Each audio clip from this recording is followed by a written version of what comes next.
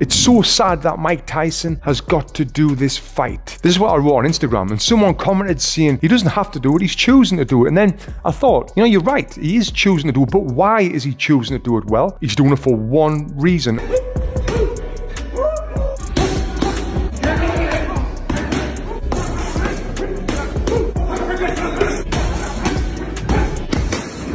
Mike Tyson's intense training regimen, depicted in a captivating montage, has gripped global audiences as he readies for his highly anticipated face-off with Jake Paul on July 20th. Despite widespread favoritism towards Iron Mike, Tony Jeffrey sheds light on Tyson's true motivation, suggesting it's driven primarily by the promise of a significant payday. Jeffrey expresses disappointment, arguing that a legend like Tyson, at 57, should rely on his legacy rather than financial incentives. Criticism against Jake Paul from the combat sports community is mounting, with UFC star Sean Strickland bluntly labeling him as disgraceful and embodying weakness. Strickland finds it appalling that Paul holds any platform at all. While talk of a potential bout between Paul and Tyson generates excitement, scrutiny of Tyson's recent training footage raises undisclosed doubts about his readiness for a comeback. Tyson's resurgence at 57 has garnered interest beyond boxing circles, with his unmatched punching power targeting Jake Paul, sparking anticipation for their clash. Despite skepticism surrounding his return, Tyson's comeback injects fresh excitement into boxing, hinting at a showdown bridging generations. It's a tale rich in symbolism, a clash of eras, a test of legacy, and a quest for relevance in the ever-changing world of boxing. Yet, doubts persist regarding the authenticity of Mike Tyson's readiness showcased in his training videos. Professional boxer Campbell Hatton represents a faction skeptical of Tyson's public displays, suggesting they prioritize spectacle over genuine fighting abilities. Hatton's concerns, expressed in an interview with TalkSport, advise against getting swept up in Tyson's imposing presence. At 57 years old, questions arise about Tyson's endurance and ability to absorb punches. Hatton worries that a loss, especially to someone like Jake Paul, could disillusion young fans inspired by Tyson's legacy. If Paul were to win, exploiting Tyson's age and decreased resilience, it might unjustly elevate Paul in the eyes of impressionable viewers, distorting their perception of the sport. The discussion around Tyson's training videos prompts deeper thoughts on sports comebacks, challenging conventional ideas about aging athletes and stretching the limits of what's possible. Tyson's return to the ring adds another intriguing chapter to his remarkable story of overcoming challenges. Yet, amidst the excitement, there are valid concerns about the risks involved in returning to a demanding sport. While some see Tyson's comeback as a testament to his resilience and a chance to reshape his career, others worry about the tough challenges he might face, especially against opponents like Jake Paul, who, despite lacking Tyson's experience, still pose significant threats. Critics like Hatton caution against nostalgia's pull, focusing on the harsh realities of professional sports, especially combat sports. They worry that the excitement over Tyson's potential comeback might overshadow genuine concerns about his health and what it means for athletes' longevity in such demanding fields. Former boxer Tony Jeffrey analyzed Tyson's recent training footage, noting aspects of his physical condition that could affect his upcoming fight against Jake Paul.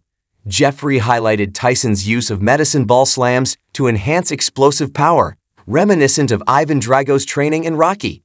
He also speculated about potential equipment, like wires, used to gauge Tyson's strength and power output during exercises. Getting paid so much money to do this. So that tells me he's getting bought. So again, it is sad that someone like Mike Tyson can get bought. Because this guy is an absolute legend. He shouldn't be able to get bought like this. He's 57 years old. He needs to be enjoying retirement. Jeffrey suggests these metrics could track energy expenditure advancements and Tyson's recuperation.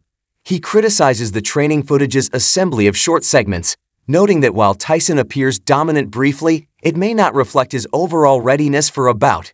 Jeffrey stresses the need for a thorough examination of Tyson's performance, cautioning against hasty conclusions. He advocates for a comprehensive view of Tyson's training, including entire rounds, to assess his sustained performance accurately. Jeffrey admires Tyson's unwavering intensity, highlighting a moment where his fierce demeanor and assertiveness demonstrate psychological strength he underscores the importance of Tyson's intense gaze and demeanor, suggesting it remains formidable. Don't think that I've got the wealth that Mike Tyson's got, but if someone offered me $20 million to fight Jake Paul, I would say no, because I care too much about my brain health, about me children, about me family, where it seems like he is being bored, and I'm not trying to disrespect the man. I absolutely love the man. It's just so bloody sad. Jeffrey's analysis emphasizes Tyson's intimidating presence, but cautions against assuming his readiness solely from edited footage. He points out the difference between flashy clips and the overall endurance needed for real boxing matches. Concerns extend beyond the matchup, with experts like Bernard Hopkins fearing damage to Tyson's legacy and the sport's integrity. Hopkins views Tyson's bout with Jake Paul as a setback for the boxing legend, putting his illustrious career at risk. I don't like it. Is it because of the Jay, I, I look at Mike as like I look at him different in a way of my era. Like I, people looked at Ali, and I looked at Ali different too, but not too many people. Marvin Hagler, like Ray Robinson, Sugar Ray Robinson. The sentiment implies that Tyson risks damaging his prestige by choosing to fight Jake Paul, an inexperienced opponent from the world of social media. Tyson's legacy is based on epic battles and remarkable talent, and facing Paul may be seen as undermining the respect he commands in boxing. Hopkins raises doubts about the caliber of the competition and the importance of upholding boxing's history and competitive essence.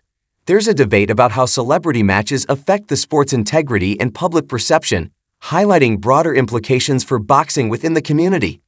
Hopkins' remarks suggest concern that celebrity matches could dilute the serious competitive essence of boxing. His perspective likely reflects a deep respect for boxing as a discipline rooted in tradition and requiring adherence to high competitive standards. Tyson's participation in this fight might be viewed as deviating from these fundamental principles, underscoring the broader implications of such matchups within the sport. While Tyson's return to the ring is captivating, the realities of the sport coupled with Jake Paul's strategic advantages, cast doubt on the benefits of this fight for boxing. It highlights the clash between legacy and innovation as the sport evolves. Nevertheless, the bout is expected to draw significant attention and revenue. Regarding Tyson's training footage, opinions vary on whether he's adequately prepared to face Jake Paul's youthful energy. What are your thoughts on Tyson's readiness? Share your comments below, like, subscribe, and hit the notification bell for more content. Thank you for watching.